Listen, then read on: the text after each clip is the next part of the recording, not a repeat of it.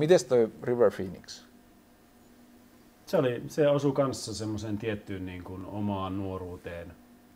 Ja sitten kun mä tykkäsin tosi paljon, siis äh, River Phoenix nuorena Indiana Jonesina esimerkiksi, mun mielestä oli ihan mahtava, joku Stand By Me, se oli jotain nuoruuden lempileffoja, siis vieläkin tosi lempileffa. Niin se oli jotenkin, ja joku siis My Own Private Idaho, että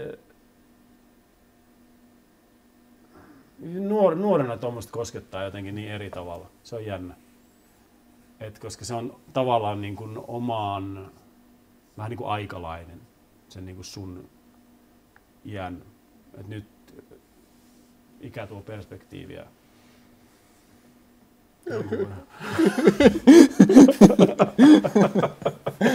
ikä, ikä tuo perspektiiviä.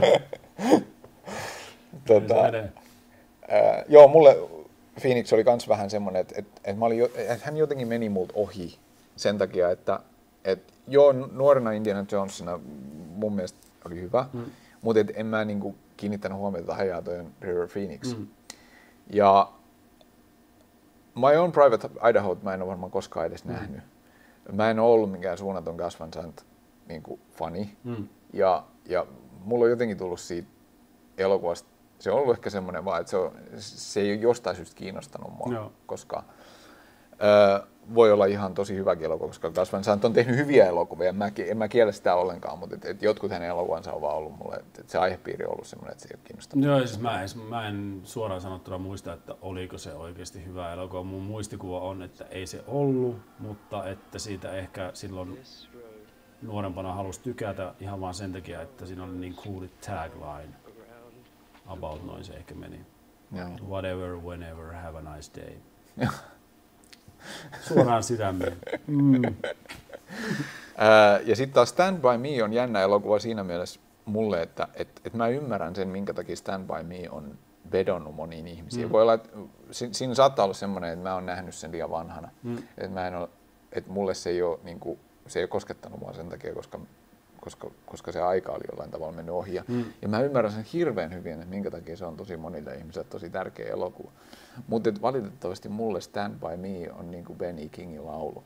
Ja mm. that's it. No. Mä, en, niin kuin, mä en koe sen leffan kanssa semmoista, mä tiedän mitä siinä tapahtuu, mä oon mm. nähnyt sen, mutta mut mä en koe sen kanssa minkäännäköistä semmoista suurempaa. No. It happened in the summer of 1959.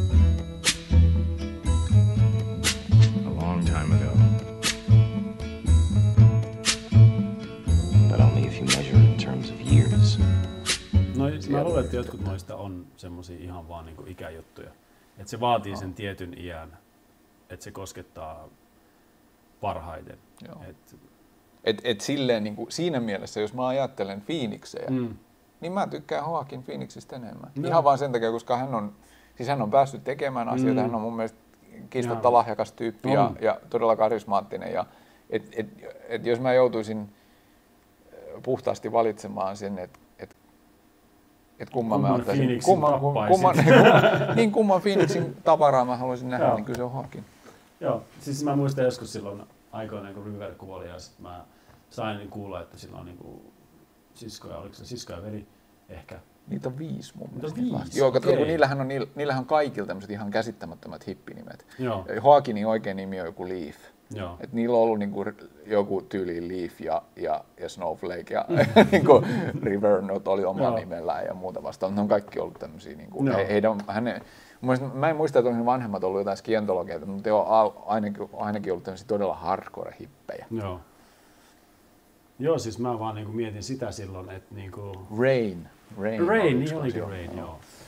Pitäisikö vaihtaa nimi? Kuulostaa hyvältä. Mutta siis joo, mietin sitä, että niinku, there is only a river, only one phoenix for me. Ja sitten kun tosiaan kun alkaa katsoa Haakinia, niin en tiedä tuliko se vielä Gladiaattorissa niin selville, että miten hyvä se oikeasti on. Mut se on kyllä ihan sairaan hyvä. Siis mä näin ensimmäisen kerran sen tässä, mikä tämä nyt on tämä elokuva, missä on Nicole Kidman. Ja, ja se oli ihan noita Haakin Phoenixin ensimmäisiä rooleja. To Die For, missä hän...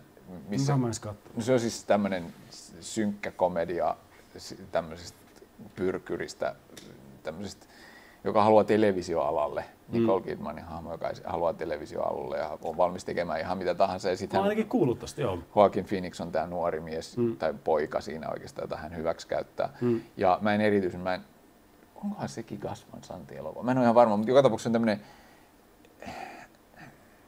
se on jotenkin niin masentava se mm. elokuva siinä mielessä, että, että, että minkä tyyppisiä ihmisiä siinä on. Mm. Ja jotenkin taas vähän samalla tavalla kuin mitä mä puhuin siitä Blue Jasmineista, että siinä on niin paljon sellaisia hahmoja, jotka on vastenmielisiä, mm. mä en erityisen pidä siitä, mutta mä muistan vaan sen, että, että siinäkin Joaquin Phoenix jo kiinnitti niinku huomioon, että, että, on, että tämä tyyppi oikeasti osaa mm. näin nuorena jo, mm. niin osaa tehdä asioita. Se voi hyvin olla, että Joaquin, jos, jos sanotaanko, että Rear olisi jäänyt, jäänyt henkiin, niin Joaquin olisi se parempi näyttelijä. Niin. Et. Eikä, ja voi olla, että hän olisi päässyt pinnalle ollenkaan. Mä luulen, että tämän tyyppiset asiat myöskin vaikuttaa. Siis sehän on, Kyllä hän, vaiva, joo. Niin. Mm. Joo. Ähm, ja sitten on kuitenkin semmoisia se, näyttelijöitä myöskin, joihin toi kuolema ei muuta kuin jossain tietyssä pienessä piirissä niin kuin vaikuttaa enemmän, niin kuin esimerkiksi Paul Walker, joka oli mm. siis mulle täysin olematon hahmo, mutta varmasti Fast and the Furious-faneille niin todella merkittävä, ah, niin, niin, niin, niin, merkittävä tyyppi. Mm. Mutta Paul Walker oli mun mielestä just semmoinen esimerkki semmoista näyttelijästä, joka ei jättänyt, vaikka hän oli suuri tähti, niin mm. niin hän ei jättänyt mitään valtavaa, tiedäks, semmoiset ihmiset nyt ajattelisivat, että olisipa Paul Walker vielä tekemässä elokuvia niin kuin mm. siinä mielessä että joo, että kyllä varmaan ihmiset toivoisivat, että, että Fast and the Furious olisi jatkunut samalla porukalla kuin mitä se on, vaikka sieltäkin nyt on tullut kaikenlaista rakoilua ilmeisesti viime aikoina, mutta kuitenkin niin, että, että, että, että muuten niin ei välttämättä ajatella sitä, että, että olisipa Paul Walker nyt täällä tekemässä tätä. Mutta mä luulen, että se johtuu siitä, että me ei ole ollenkaan sitä kohderyhmää. Niin. Että tuolla on varmaan niin kuin alle 20 poikia ja tyttöjä, jotka on sillä oli todella niin kuin murtuneita niin. tästä niin kuin, niin. traagisesta menetyksestä. Että sitten ei tee kuin vaan, ei vaan niin kuin, kuulu yhtään siihen ryhmään, joka niin kuin, Joo. ja kun eihän nyt Paul Walker, kyllä se sinänsä osaa sen, niin kuin, sen slottinsa tai osasi sen slottinsa hoitaa ihan hyvin. Ei siinä mitään, mutta eihän se sillä niin kuin, jos tosiaan ajattelee vaan semmoista niin taiteellista pääomaa, niin ei se mikään suunnaton menetys ole.